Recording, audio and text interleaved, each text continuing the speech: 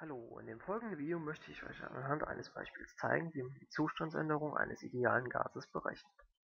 Dazu haben wir folgende Aufgabenstellung gegeben. Ein geschlossenes gasförmiges System, das auf 80 Volumenprozent Stickstoff und 20 Volumenprozent Sauerstoff besteht und sich wie ein ideales Gas verhält, liegt in einem Zustand 1 bei 0,834 bar und 300 Kelvin mit einem Volumen von 72,4 Litern vor.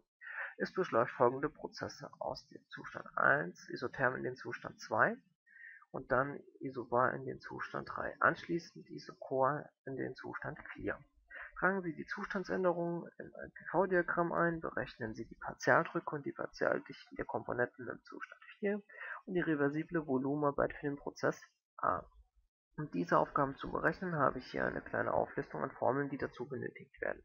Einmal wäre das die allgemeine Zustandsgleichung idealer Gase mit der universellen Gaskonstante R ist gleich 8,314. Dann noch die Formel zur Berechnung der Stoffmenge, eine weitere für den Partialdruck, welche auch aus der allgemeinen Zustandsgleichung abgeleitet werden kann, und eine Formel zur Berechnung des Molenbruchs bzw. des Stoffmengenanteils. Weitere Formeln werden während der Berechnung der einzelnen Prozesse folgen. Dann beginnen wir mal mit Prozess A. Der Prozess A ist ein isothermer Prozess das bedeutet, dass wir hier die Formel V1 durch V2 ist gleich P2 durch P1 verwenden und hierbei handelt es sich um das Gesetz von Boyle-Mariotte. Dieses wird umgestellt zu V1 mal P1 geteilt durch P2 ist gleich V2. Durch das Einsetzen der Zahlenwerte 72,4 Liter mal 0,8364 bar geteilt durch 2,44 bar kommen wir auf ein Volumen von 24,81 Litern am Ende des Prozesses A. In einem PV-Diagramm würde das so aussehen: Wir beginnen hier bei 72,4 Litern, erhöhen den Druck und dadurch wird das Volumen immer kleiner, weswegen wir auf der Hyperbel hier nach, von rechts nach links gehen. Danach beginnt dann auch schon der Prozess B, bei dem es sich um eine isobare Zustandsänderung hält. Hierbei verwenden wir das Gesetz von Gay-Lussac, welches lautet V1 durch V2 ist gleich T1 durch T2. Dieses stellen wir um auf v2 ist gleich v1 mal t1 geteilt durch t2. Durch das Einsetzen der Zahlenwerte 24,81 Liter für das Volumen aus dem Ende von Prozess A, den 403 mal 430 Kelvin geteilt durch 300 Kelvin kommen wir auf ein Volumen von 35,57 Liter. So, an einem TV-Diagramm würde das so aussehen dass wir hier bei 300 Kelvin beginnen, wir erhöhen die Temperatur und dadurch wird auch das Volumen größer bei gleichbleibendem Druck. Danach beginnen wir auch schon mit Prozess 10. Dabei handelt es sich um einen Isochorenprozess. Hier findet das Gesetz von Amators eine Verwendung durch die ähm, Formel P1 durch P2 ist gleich T1 durch T2, welches wir auf P2 ist gleich T2 mal P1 durch T1 umstellen. Durch das Einsetzen der Zahlenwerte von 350 Kelvin mal 2,44 bar geteilt durch 430 Kelvin kommen wir hier auf einen Druck von 1,98 bar. Das bedeutet, wenn wir die Temperatur verringern, verringert sich auch der Druck.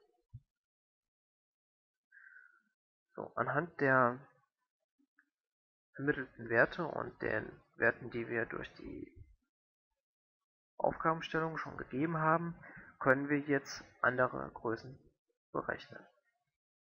Zum Beispiel hätten wir dann einmal die Anzahl der Mole von Stickstoff und Sauerstoff in diesem Gasgemisch. Dazu verwenden wir die Formel N ist gleich P mal V geteilt durch R mal T.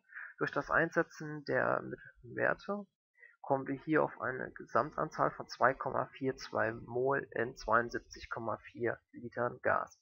Jetzt ist es ja so, wir haben 80 Volumenprozent von Stickstoff und deswegen müssen wir das noch differenzieren. Dann haben wir hier einmal die Stoffmenge für Stickstoff ist 2,42 mal 0,8 ist gleich 1,936 Mol. Das bedeutet auch im Umkehrschluss, dass die restlichen 20% für den Sauerstoff zur Verfügung stehen, was in diesem Fall 0,48 Mol sind. Dann hätten wir noch einmal die Formel zur Berechnung des Partialdrucks und der Partialdichte von Stickstoff. Zur Berechnung des Partialdrucks von Stickstoff verwenden wir die Formel Pi ist gleich n mal r mal t geteilt durch v. Durch das Einsetzen des hier äh, der Mole von Stickstoff, die wir hier unten erhalten haben, mit den anderen äh, Werten kommen wir hier auf einen Partialdruck von 1,59 bar. Die Partialdichte von Stickstoff in diesem Gemisch beträgt 1524 kg pro Kubikmeter. Dann noch einmal die Formel zur Berechnung des Partialdrucks und der Partialdichte von Sauerstoff. Die Formeln bleiben gleich, aber man erkennt schon, dass die Werte sich unterscheiden, dadurch, dass halt 80% äh, Stickstoff vorhanden sind. Und so kommen wir dann für den, auf einen Partialdruck von 0,39 bar für Sauerstoff und 431 Kilogramm pro Kubikmeter äh, für die Partialdichte von Sauerstoff. Danach folgt jetzt noch die Berechnung der reversiblen Volumenarbeit des Prozesses A mit der Formel W reversibel T ist gleich minus n mal R mal T mal den ln von V2 geteilt durch V1.